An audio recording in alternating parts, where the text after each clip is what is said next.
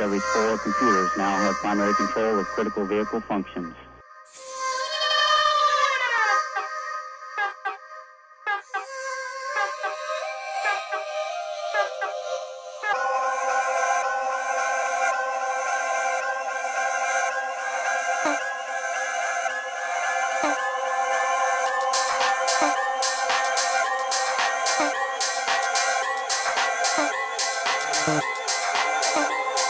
Bye.